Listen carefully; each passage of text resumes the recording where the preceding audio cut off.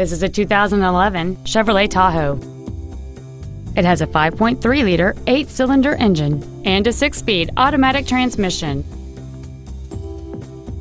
Its top features and packages include a limited slip differential, speed-sensitive volume controls, aluminum wheels, and satellite radio.